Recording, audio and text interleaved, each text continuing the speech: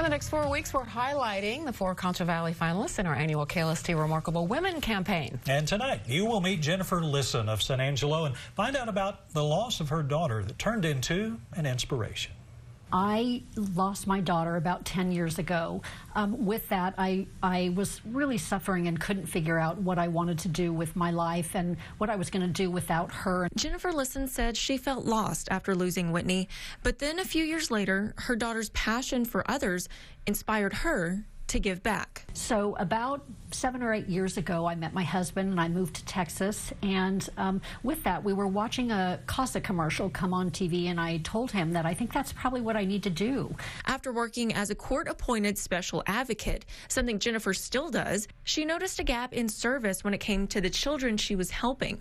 There was no one giving them the extra help they needed with their education.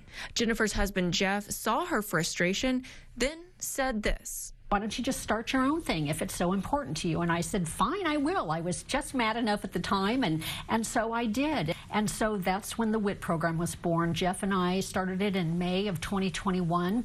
We started off with uh, 27 children here in Tom Green County. Now the program is statewide with college students, including from Angelo State, helping fill that gap for more and more children each year. Our second year, we had 78 children, and this year we're on slate. We have over 170 children. We're a little over halfway through our third year, so it's growing immensely. Jennifer is also on the board for Sonrisa's therapeutic riding. She's familiar with horses. She used to be a horse trainer and is still a judge for the American Quarter Horse Association.